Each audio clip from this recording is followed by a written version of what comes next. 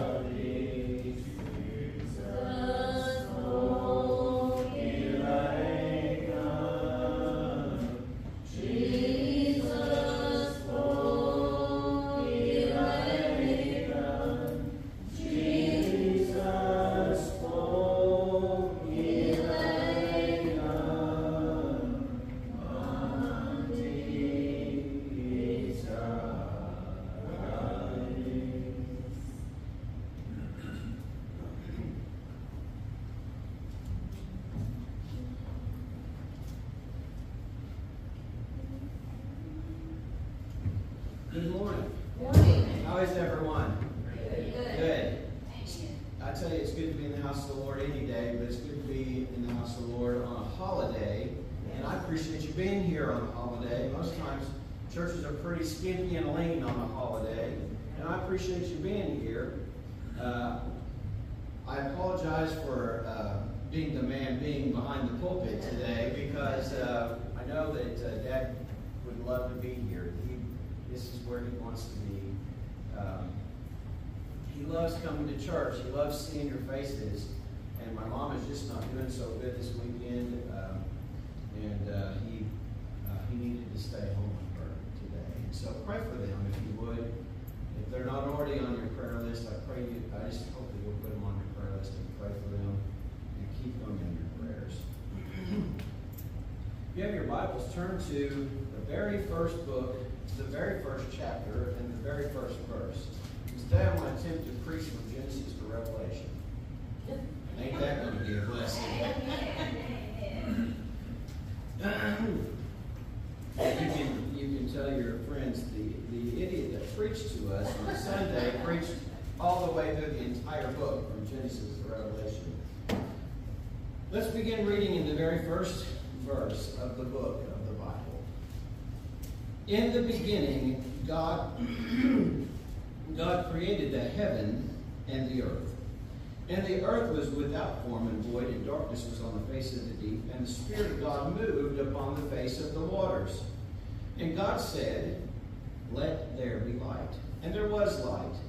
And God saw the light that it was good, and God divided the light from the darkness, and God called the light day, and called the darkness, and darkness he called night. And the evening and the morning were the first day. Let's pray.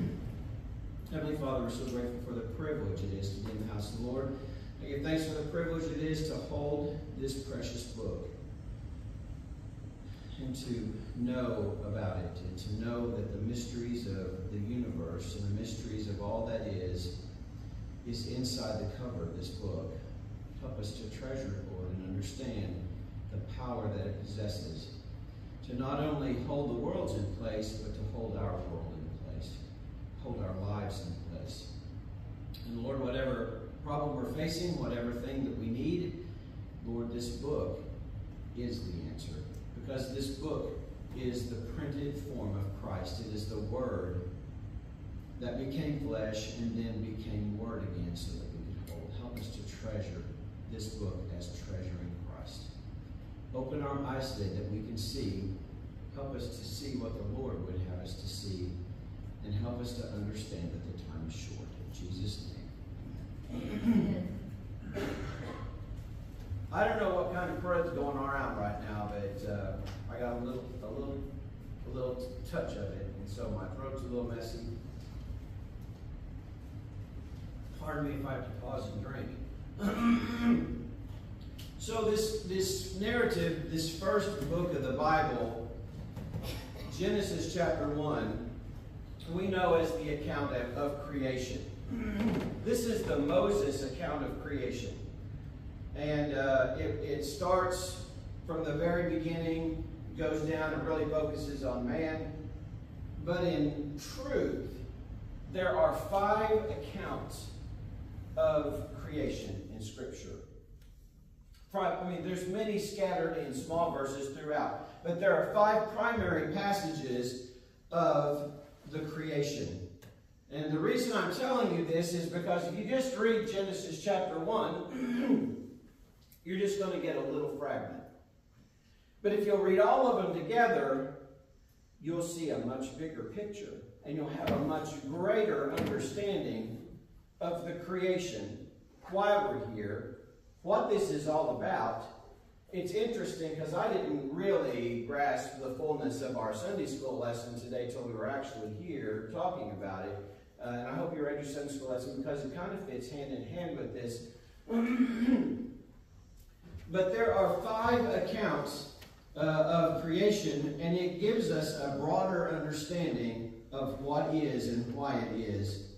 Uh, the next the next passage that talks about creation is found in Job chapter 38. And the next one is found in Psalm chapter 104. The next one is found in Proverbs chapter 8. And the next one is found in John chapter 1. If you brought a piece of paper with you, I think you should probably write some of this stuff down because I hope you'll go back and revisit this in your quiet time. It'll be a blessing to you. so the first account is Genesis 1, then Job 38 through 41.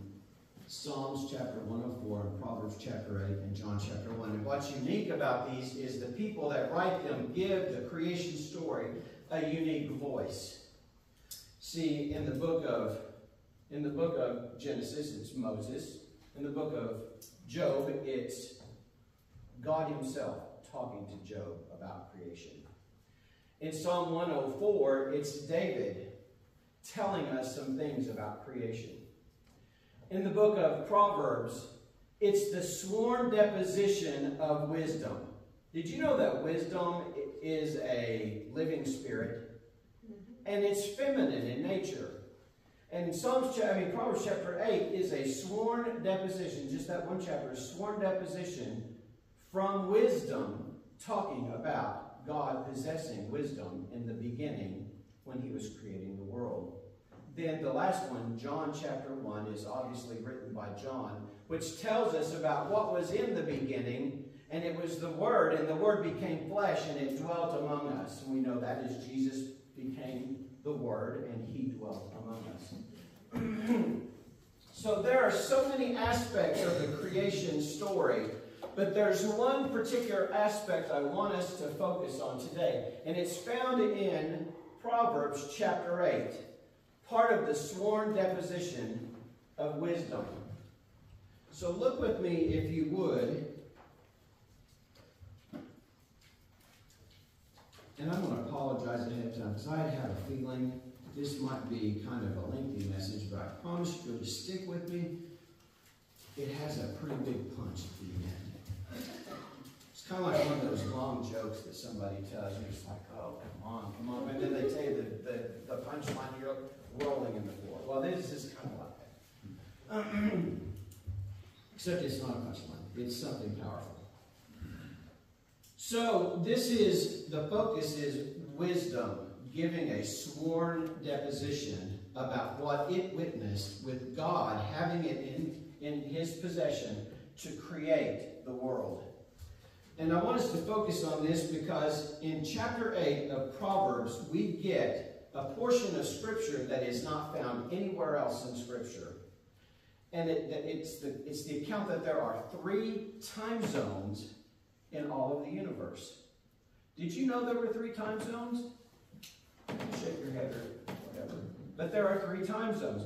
So I want us to look, it begins in verse 12, where the sworn deposition started. You just almost see wisdom raising its hand. It says, I, wisdom. So it's got its hand up, giving its sworn deposition. I, I, wisdom, dwell with prudence and find out knowledge of witty inventions. And then it tells us about the fear of the Lord. Just a real brief fear. If you ever wondered what the fear of the Lord is, it's in this next verse. The fear of the Lord is to hate evil. Very simple. Pride, arrogance, the evil way, in the forward mouth do I hate. So that's the things that wisdom hates. If we if we would follow wisdom, and we would be good to know that the fear of the Lord is simply to hate evil. Okay? And then wisdom begins to tell us things about itself, to kind of give itself some credibility. It says, counsel is mine and sound wisdom. Next verse, by me, kings reign.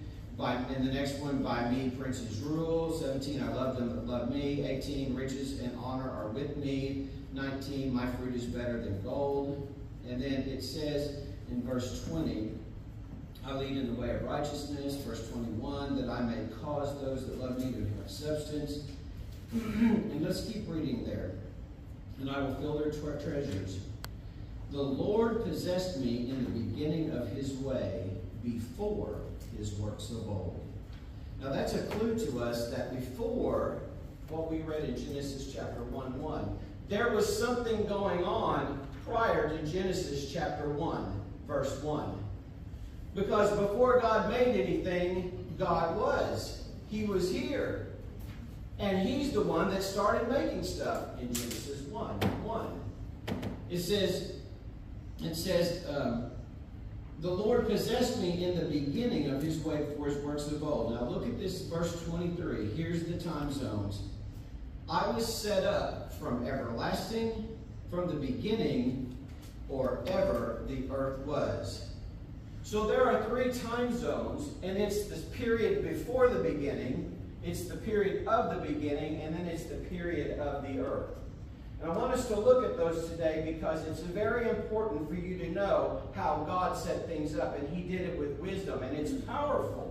It's very powerful, and I don't know that you probably have ever seen it or considered it before, but in, in this time that we live in, when I think we're so close to the end, we're so close to leaving with Him, I think we kind of need to know where we're going to go and what where that exists in. I know that whenever we were kids, we planned trips to go on little trips together as a family. I remember when I was like 12 or 13, I don't remember how, maybe 12. We decided we were going to go to Six Flags. And so we talked a little bit about what that was like. I'd never been to Six Flags before. And they began, I began to find out what Six Flags was about and what it was like. It was kind of like Bell's Amusement Park in Tulsa, except it was on steroids. And it was lots of big, giant uh, roller coasters and rides and stuff like that. I got excited. Well, when I was 12, I was kind of like a poodle. I didn't do excitement real well. My sisters know. and so we took off to Six Flags. And when you go around Dallas and you kind of go over this little rise, you can see Six Flags in the distance. And I had to throw up. Stop it. And then we had to pull over because I, I had to go to the bathroom. And once we got to Six Flags, every time we'd get up to a ride, we'd almost get up there. And I'd have to go to the bathroom. I didn't ride a thing. Stop it. I want you guys to be excited to know that we're getting ready to go to a place that you can't even imagine. And I'm going to describe some things today that it's really not supposed to be something that you can wrap your head around because we can't. Scripture tells us we can't wrap our head around it. But I'm going to show you some things that are in Scripture for us to know. It begins with coming to understand what the time zones are. And I hope as we get close to seeing this thing we're going to see today, you'll get excited. Hopefully, it won't be so exciting not to get up and go to the bathroom. But I hope it's something that will stir your heart and realize that we're so close to being there. And we're so close to going. So, the three time zones are from everlasting. So, one time zone is called everlasting, one time zone is called the beginning, and the other time zone is called the earth.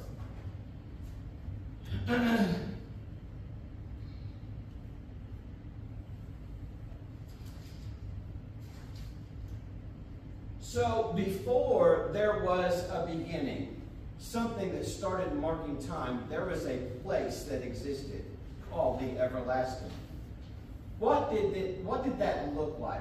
Well, we go to David, who tells us in Psalm chapter 104 a little bit. He gives us just a little glimpse. Go with me to Psalm 104 so we can see what was present. Psalm 104.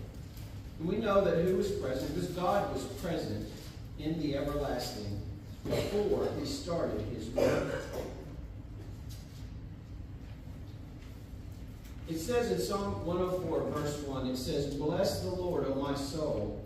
O Lord my God, thou art very great.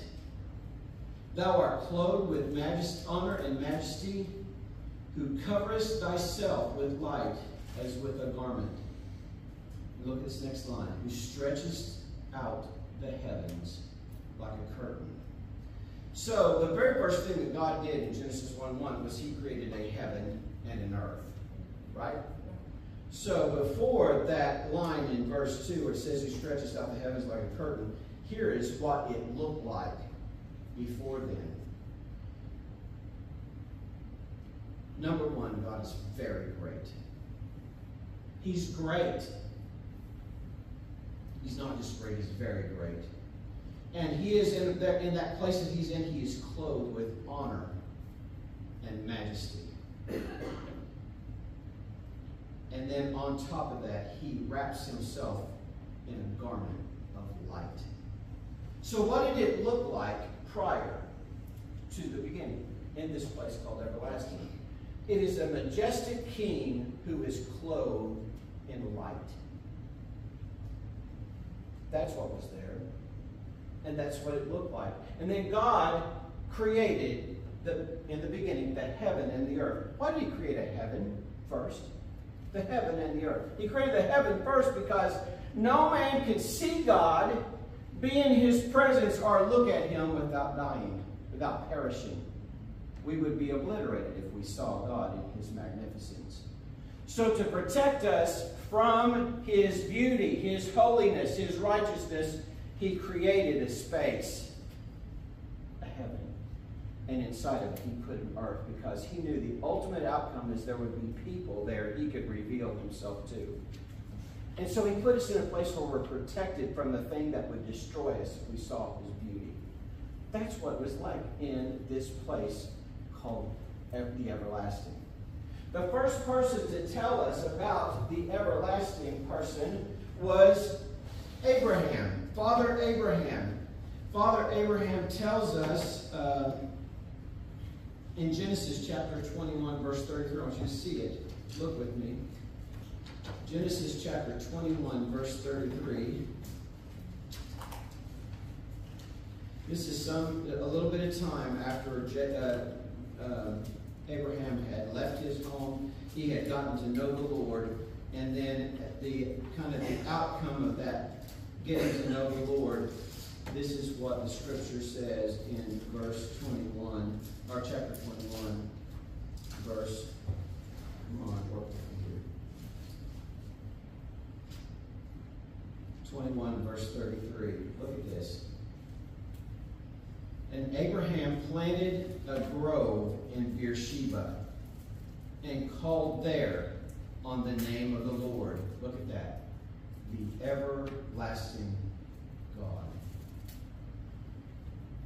Here it's acknowledged that there is a place that exists called the everlasting. And there is the God there that is the everlasting God. Deuteronomy chapter 33. I want you to go there as well. Deuteronomy chapter 33.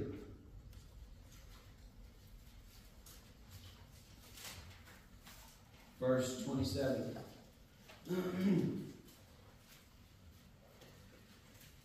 Let's begin in, in verse 26.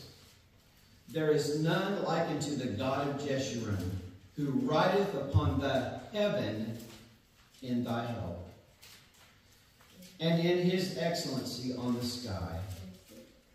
The eternal God is thy refuge, and underneath are the everlasting arms. When I was a kid, there was a very famous, popular song we sang in the church, and I think there's a little hit on the radio for you for just a little bit of time. It's called "You Got the Whole World in His Hands." Remember that? Anybody? You guys are all young. I don't remember that. Right? We, you remember, right? He's got the whole world in his hands. Literally, God is holding it all together in his everlasting arms. Did you, under, you understand what I just said? God is holding this whole mess in his arms. Uh-huh. In his arms, in his hands. And he will until it's over. And this is the everlasting God who lives in an everlasting place that we have never been to, we have never yet seen, because if we saw him, we would not live.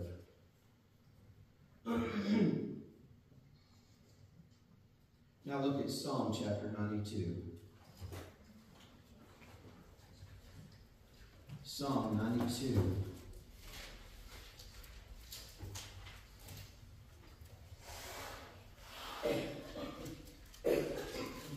I'm sorry, that's 90, period, verse 2.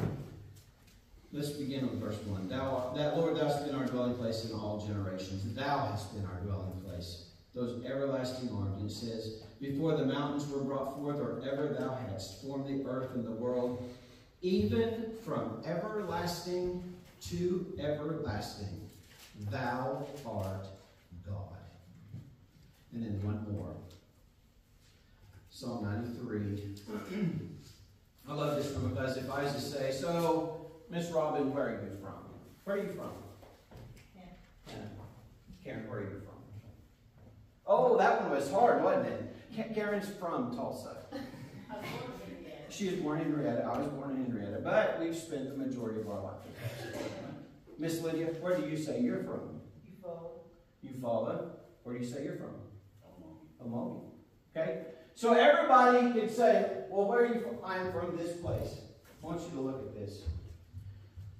This is Psalm chapter 93. Let's begin in verse 1. The Lord reigneth, he is clothed with majesty. There's that word again. The Lord is clothed with strength, wherewith he has girded himself. The world also established that cannot be removed. Thy throne is established of old. Now, where is God from? It says it right there. Thou art from everlasting. This is the time zone where God Almighty, the eternal God, the everlasting God, lives. So this is the space that existed prior to the beginning. Who lives there? Who lives there? God alone, God Himself. And then came the beginning. The beginning, the thing that we know of from Genesis chapter 1. Look with me back again at Genesis chapter 1. Let's just go through this real quickly.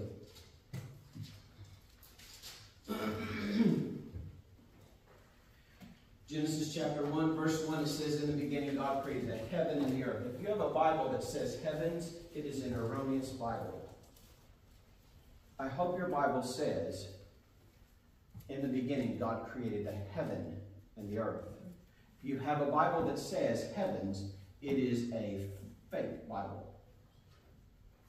Yeah, I said that. Not politically correct to say it, but we kind of live in an age where people say things that aren't necessarily politically correct. Be, be assured, church, there can only be one truth. If there's not just one truth, that'd be like the state of Oklahoma having six or seven different versions of the law. You could never prosecute anybody if there were six or seven versions of the law. You just can't. Because someone would pick a law that satisfied them, and, they, and then they would get out of whatever it is they were in trouble with. There can only be one. and the scripture says in the beginning, God created the heaven and the earth. One heaven, one earth in the beginning. This is a Bible authenticator. If you want to know how to tell somebody if they have an authentic Bible, just go to book 1, chapter 1, verse 1. Look there. Does it say heaven or does it say heavens? how many errors have to be in a Bible for it to be fake? Just one. And there it is. If it's multiple heavens at the first, it's a fake. Okay? Just get that straight. now we know because of Proverbs chapter 8, which denotes different time zones, there is more than one. But it, there wasn't in the beginning. There was just one heaven, one earth. In fact, let's just keep going. In this particular time zone that began here, the beginning, there is a new time zone established, and I want you to see what the time calculation is. By the way, in the everlasting time zone, time is not calculated. There is no time calculated in the everlasting. It is everlasting, it's eternal, no time calculation. Now, in the beginning, there is a new thing called time, and it is being calculated. And I want you to look at what, where the scripture tells us what that time zone is. I'm so excited I'm on the last page of my notes. I didn't think I'd be able to do that. so there are two places in scripture that tells us how to calculate, calculate the beginning time zone. Look with me in Psalm chapter 90, verse 4. Uh, well, let me get there. 90, verse 4.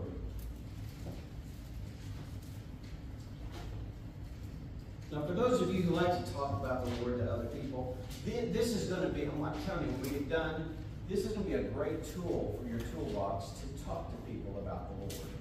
It's just, it's a great tool. So, this second time zone, the beginning time zone, is calculated differently.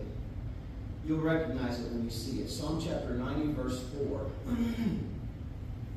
For a thousand years in thy sight are but as yesterday when it is past, and as a watch in the night. Now look over to 2 Peter chapter 3, verse 8. 2 Peter just a few books before the Revelation.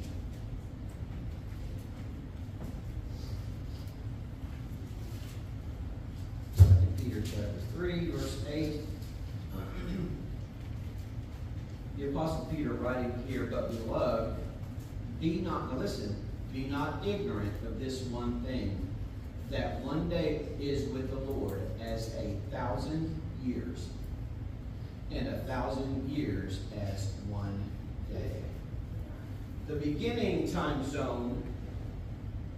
So who lives in the beginning time zone? Which God? Not the everlasting God, the beginning God, and that is God the Father that we know is the Father of Jesus Christ. This is his time zone, and in his time zone, the time is calculated in 1,000 years. A day is 1,000 years, and a thousand years is one day. So how do we get this 24-hour day thing? Well, you have to read in Genesis chapter 1. Now let's read it real quick.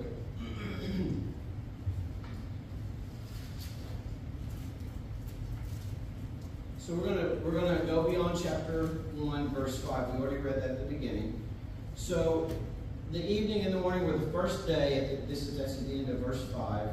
And verse six says, "And God said, Let there be a firmament in the midst of the waters, and let it divide the waters from the waters. And God made the firmament, and divided the waters which were under the firmament from the waters which were above the firmament, and it was so." That was a mouthful. And God called the firmament, look, what do you call it? heaven. So now there's another heaven.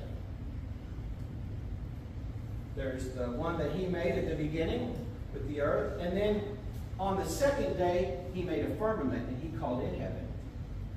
And so now there's an everlasting time zone, there's a beginning time zone, and he's going to do something else now under that heaven where the earth is.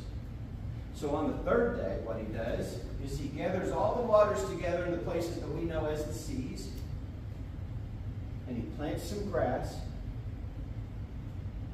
and on the fourth day he turns on the light. That's when he puts the sun, the moon, and the stars. And guess what happens when he places the sun, moon, and stars? A new time zone begins. That's the one we know about. It's the 24-hour day. The 365 days in a year time zone. So now we have three time zones. we have the everlasting, we have the beginning that's calculated by 1,000 years, and we have another that's calculated by 24 hour days.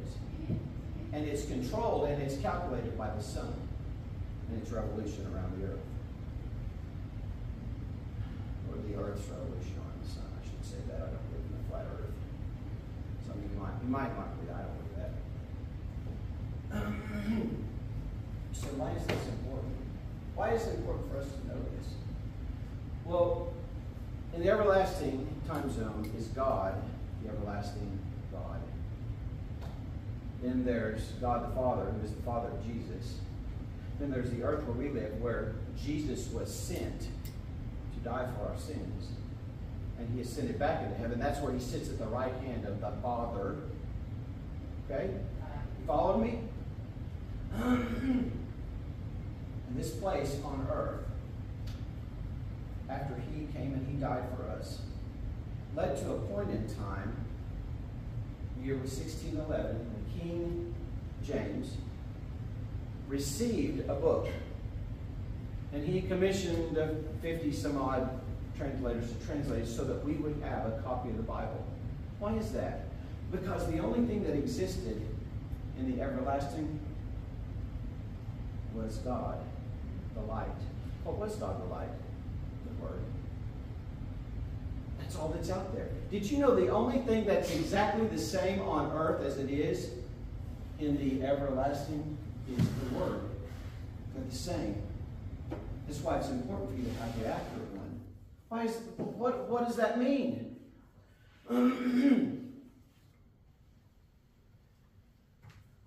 the most important verse you learned as a person.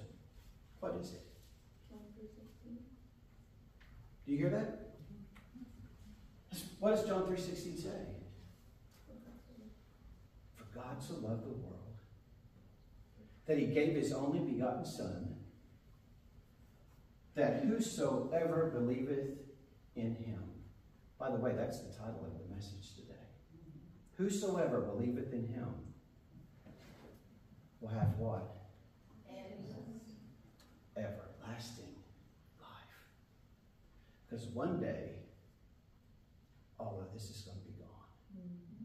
You know, if the Lord came back today, there'd be seven years of tribulation on the earth. Don't recommend anybody to be here. We're going to be in heaven having the marriage supper of the Lamb. We're going to come back with him on horses. We'll reign here on earth with him, his spiritual bride, and we're going to, he's going to deal with his people Israel for a thousand years. At the end of that thousand years, it's over. Mm-hmm. There is there's no more. It says time will be no more.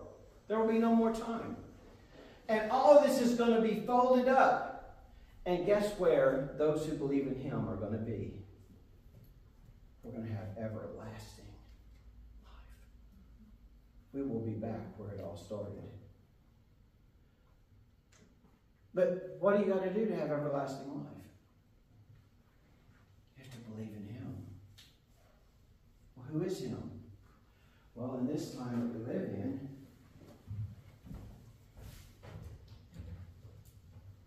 this is him. This is him. You know, you all have a version of a book inside your blood, in your cells. And it's the it's the, it's the scripture. It's the scripture of Miss Robin. You have one too, Miss Lydia. This one. This one is the DNA of Christ. And you have to believe in him to have everlasting life. See, this process that started, see, we're at the end of the 9,000th year of time. And there's just one more time period, you know, that's calculated in 1,000 years from God's perspective. And then there's just the 10,000th year, and then it's over. We just have one more time period left. It's the 10,000th year. And this time that we live in is the church age. And this is where people have been given this book so that we can read it, study it, love it, learn it. Why? So when we believe in it, we can have everlasting life. We can go to a place that He is. What's going to happen when all of this stuff is gone? And this is why I look back to our lesson this morning, brother. Where, where it's funny because it kind of sounds like a downer when Solomon says vanity, vanity, all is vanities. That's because everything here is just props. Did you know that? Your vehicles, your money, your cat. Smitty's got a great cat. All of it's props. Mm-hmm. For what? To judge how we are going to handle this book. If we're going to be obedient to it, if we're going to love it, if we're going to serve the Lord being guided by this book because there is nothing else. Everything is props. And when you hear Solomon say vanity of vanity, all his vanities, it's because sometime in the future it's all going to be gone. And you know what Jesus said about this book? Heaven and earth will pass away, but my word will not pass away. That's right. That's right. This, dear church, is what we need to invest our life in. Not more, not, not more cell phone time, not more tablet time, not more TV time. We need, to we need to spend more time in this book, and we need more time sharing it with others. The time is short. The, the ark is about to close. The door is about to close, and nobody else is going to be able to get in. I told you this whole thing today so you could know the painstaking thing that God went through to get his word where he's at through the beginning time zone down to our time zone, to Christ coming to earth to give his life for us so that we could have in our hands the thing that exists outside of everything. He wanted us to have this. That's how powerful this book is. That's the wallop I was telling you. If you just wait and let me tell the whole story. This, and you're like, that's it? Oh, yeah, that's it. There is nothing else. Let me tell you something. Whenever I was a young man, I did some bad things. I was a bad, I was a very bad person. If you'd asked most people when I was in the, I was in the middle of my life of sin, if there was any hope for me. Yes, my dad. Yes, my dad back then, if there was any hope for me, he probably told you no. Let me tell you something. God put me in a place where I couldn't move, couldn't squirm, couldn't get out of it. You know what he did? He brought me a book. He brought me that book. And I didn't have anything to do but just read it. Everything else was gone. and I sat and read the book, Miss Robin. I began to read and I read it over and over, cover to cover, several times. And I learned about God and I fell in love with Him because He is the Tonight, today, I came to tell you about a God that lives in the everlasting time zone where time is not calculated. Who transcended an entire time zone that where God the Father lives, who sent Jesus down to earth, down to our time zone of 24 hours. He did all of that so he could introduce himself to us through a book. And here we sit in that time period. Isn't that amazing that, that, that the God of the universe would go to such painstaking obstacles to get us a book so we could know him. I'm going to tell you, if you don't know him, there is no rela- there is no relationship with God outside the Word. If you don't know him, you can't get to where he's at. You'll be lost. And so today I just want to beg you that if you don't know him, please get to know him. Accept him as Lord and Savior. If you've accepted him as Lord and Savior, maybe you need to rededicate your life and get closer to him by reading the book. Just read the book. Get to know him. And let him change your life. There's a song out there that I love. It says, how's that? Let my Jesus change your life. I think the name of the song is My Jesus. And it says, Let my Jesus change it. And God can change your life if He hasn't already. If you're struggling with something today, let me tell you something. Everything that we face is vanity. Vanity of vanities, all is vanity, because all that matters is your relationship with the Lord.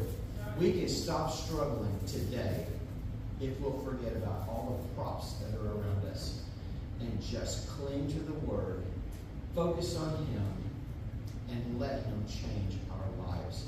Because when He changes our lives, we can go out into a world that is desperately lost, desperately dying, and needs to hear the hope.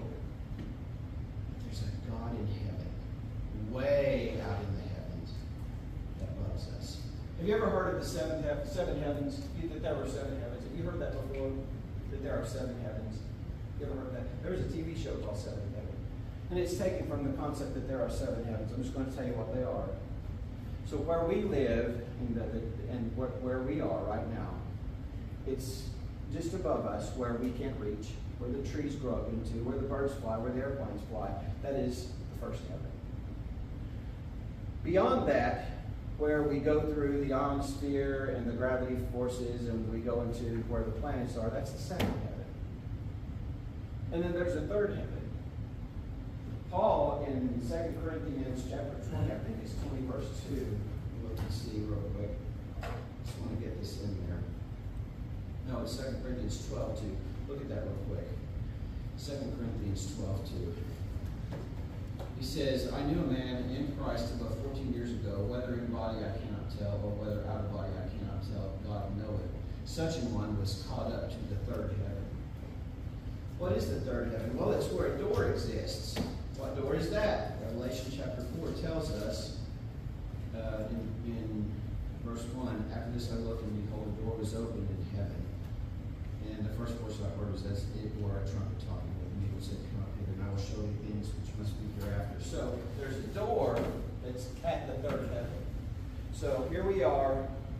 Here's the earth. Here we are. That's the first heaven where the trees grow into and the birds fly and the airplanes fly. And then the next one above it is where the planets are. And then there's the third heaven, which is kind of like an outer perimeter that keeps all of us. It's that, it's that second heaven that he created on day two.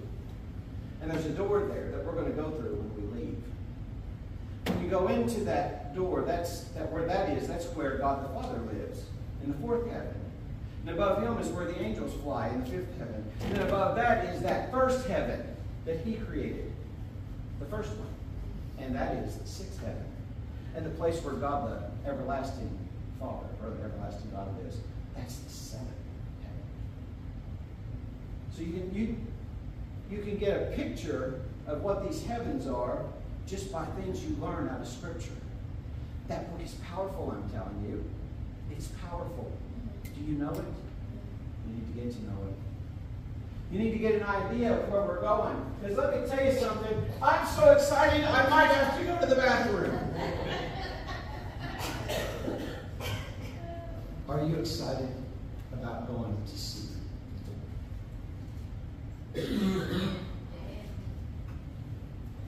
Heavenly Father, we're so grateful for the opportunity to get to know Thee through this precious book.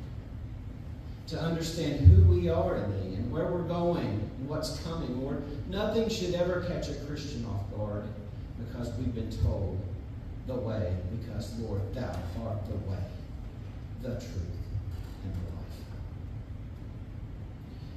Lord, if there's anyone here today that does not know help them to get that right today.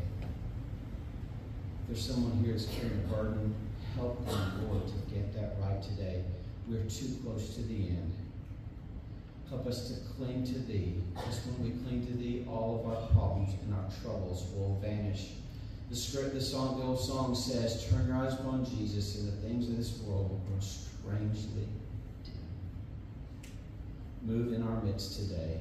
Lord, I give thanks for these precious folks that are here to meet in the house of the Lord. And I just pray a blessing on them, their families, Lord, and safety as they go through this holiday weekend. If there's someone here that needs to make a move, Lord, I just pray they get that right before they leave. In Jesus' name I pray. Amen.